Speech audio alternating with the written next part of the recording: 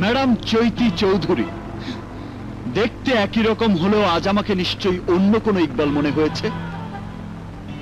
আমাকে দেখে নিশ্চয়ই সেই ইকবাল মনে হয়নি, যাকে তুমি তোমার বাড়ির চাকর বানানোর জন্য কাল রাত পর্যন্ত লাখ টাকার পালঙ্কে শুয়ে স্বপ্ন দেখেছ। Look look madam Chaiti Chowdhury. ভালো করে তাকিয়ে দেখো, আমি সেই ইকবাল। এখন নিশ্চয়ই তোমার স্বপ্ন ভেঙে চৌচির হয়ে গেছে। আর হওয়াটাই স্বাভাবিক। কারণ যে ইকবাল এখনও দিনমোহরের কোটি টাকা শোধ করে তার মাকে জিম্মি দশা থেকে মুক্ত করতে চায়নি, সেই ইকবালের এত বড় উত্থান মেনে নিতে কষ্ট হওয়ারই কথা। কিন্তু আমি সেই ইকবাল, যাকে তুমি তোমার বাড়ির পোষা কুকুরের চেয়ে কম দামি মানুষ মনে করেছিলে। আমি সেই ইকবাল যাকে তুমি ফুলের বাসরে স্বামী হওয়ার অযোগ্য ঘোষণা করেছিলে। আমি সেই ইকবাল যার সামান্যতম জায়গা স্বামী হিসেবে ওই ফুলের বাসরে হয়নি। ভাবতে পারো, তাহলে এখনও কেন আমার মা তোমার বাড়িতে? কেন মাকে মুক্ত করে আনতে চাইনি এই না যাওয়ার জন্য আমার হৃৎপিণ্ডের প্রতিটি শিরায় শিরায় অনেক কষ্ট জমা করে লুকিয়ে রেখেছে। কাউকে জানতে দেয়নি কেন জানো? তোমার বাড়ি থেকে আমি আমার মাকে বের করে আনব না। তোমাকে তোমার বাড়ি থেকে বের করে দেব বলে। শুধু এই দিনটার জন্য আমি নিজে কষ্ট পাচ্ছি, আমার মাকেও কষ্ট দিচ্ছি। আমার এই ইচ্ছা পূরণের আর বেশি দেরি নেই। আজ তোমার পতন শুরু হওয়ার প্রথম দিন। শেষ দিনটার জন্য প্রতিটি প্রহর, প্রতিটি মুহূর্ত টেনশন নিয়ে অপেক্ষা করো। কখন তোমাকে উপরতলা থেকে টেনে হেসছে নিচে নামাবো? শুধুমাত্র এই কথাগুলো বলার জন্যই আমি তোমার পথ আগলে দাঁড়িয়েছি। Good bye madam Chaiti good bye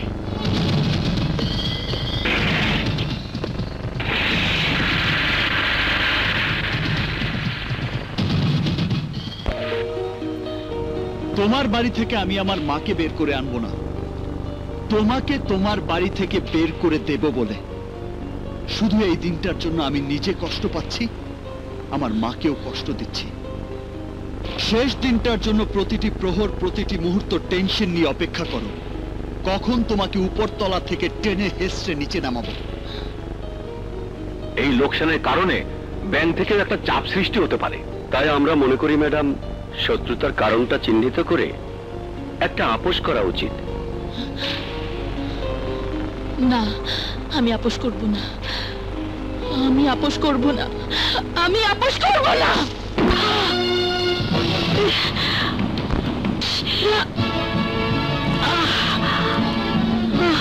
চৈতি মামুনি, তুমি তোমার ঘরে যাও। এমন কিচ্ছু হয়নি। এতটুকু রক্ত বের হলে কেউ মরে না।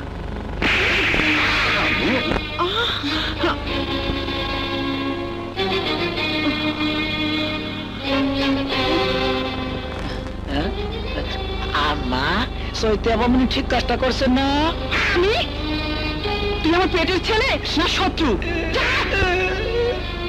উচিত কথা কইলে সবাই মারে কে তোমার জন্য চৈতি আমার গায়ে হাত তুলেছে। শাশুড়ির জন্য কত দরদ ডক্টর ফারুক আমি চৈতি চৌধুরী বলছি। প্লিজ আমার বাড়িতে একবার আসুন।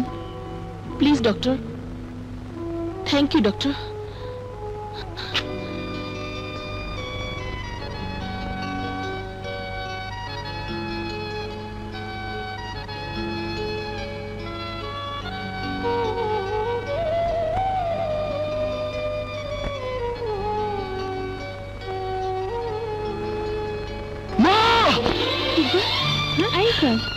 Iqbal?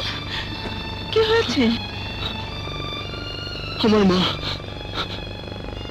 আমার মাকে আমার মাকে ওরা অনেক কষ্ট দিচ্ছে। আমার মা হচ্ছে আমার আত্মা। আর সে আত্মাকে ওরা কষ্ট দিচ্ছে। আমি জানি তুই তোর মাকে কত ভালোবাসিস।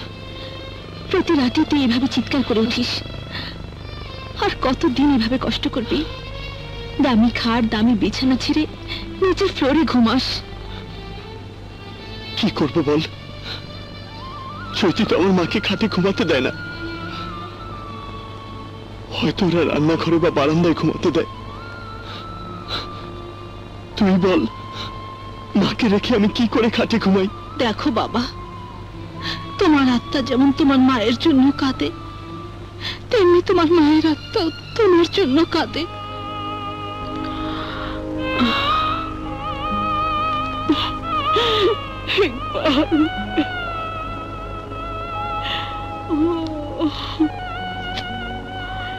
Dale.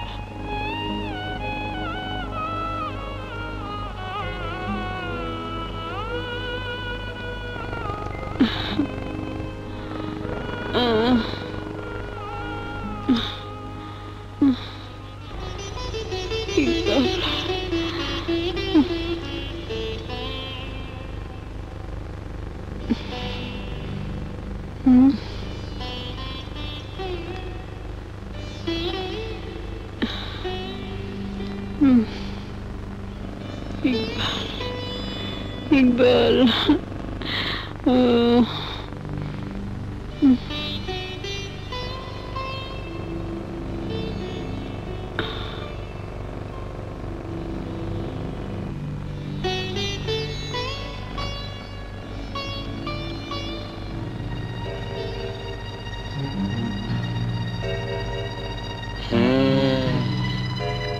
রাতে রাতে শাশুড়ির সেবা করে।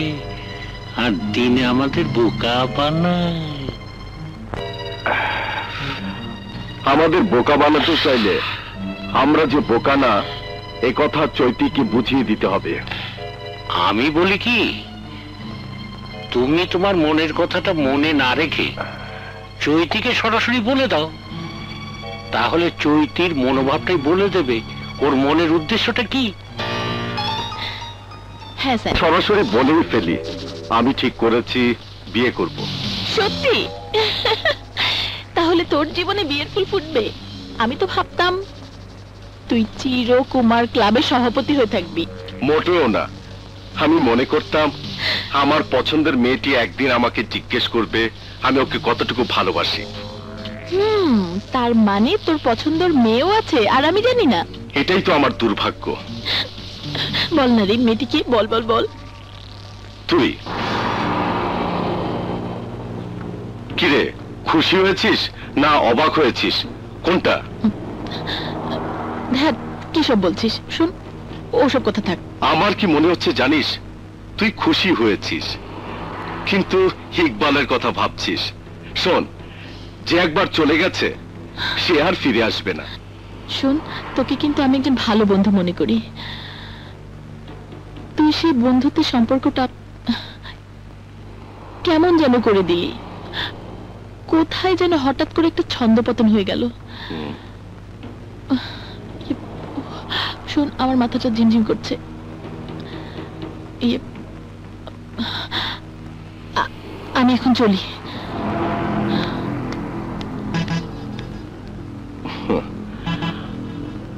আমি জানি তুই কেন রাজি হলি না।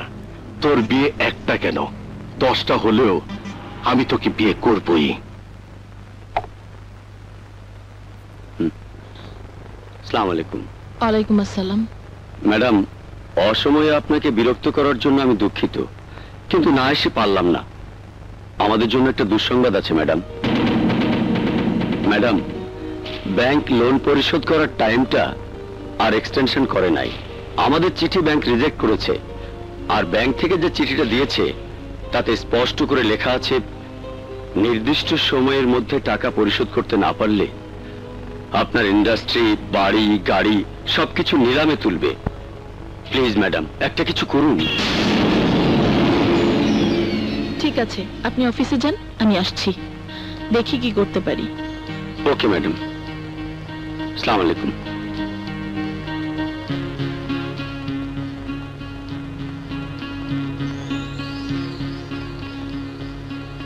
আরে মামনি এতে ঘাবড়ানোর কি আছে? এটা কোনো সমস্যা হলো? তুমি কি মনে করেছ মামা? বুঝতে পারছ? আর মাত্র দুদিন বাকি? আর একটা দুটো টাকা নয় পঞ্চাশ কোটি টাকার মামলা। কে দেবে আমাকে এই টাকা? কেন? সানি বাবাজি দেবে? সানি? তুই আমার কাছে আসার সিদ্ধান্ত নিয়ে ভালো করেছিস। মামা মাকে ফোন করেছিল। জানিস আমি মামাকে বলে দিয়েছি। আর কেউ না জানুক তুমি আর মামি তো জানো আমি চৈতির জন্য দুনিয়াটা লুটিয়ে দিতে চাই। বল চৈতি কোন শর্তে তুই টাকাটা নিতে চাস? শর্ত? হ্যাঁ শর্ত।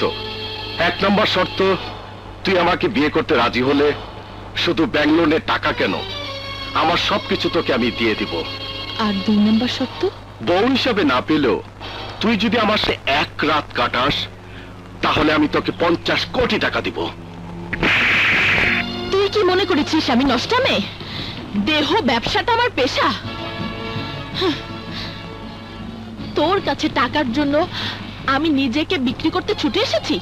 তুই যদি মনে করে থাকিস, তুই যদি মনে করে থাকিস, তোর মতো সওদাগরের কাছে আমাকে আমি নিলামে তুলবো, তাহলে তুই ভুল করেছিস, ভুল। শোন তোকে দেখে যত বেশি ঘৃণা হচ্ছে, তার চেয়ে তার চেয়ে অনেক বেশি ঘৃণা হচ্ছে। নিজের প্রতি নিজে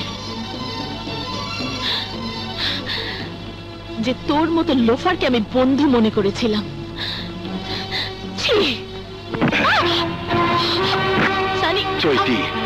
আমি জানি আজ থেকে তোর আমার বন্ধুত্ব শেষ। কিন্তু তুই যাতে আমাকে সারা জীবন মনে রাখিস সে অবস্থা করেই তোকে আমি এখান থেকে ছাড়বো।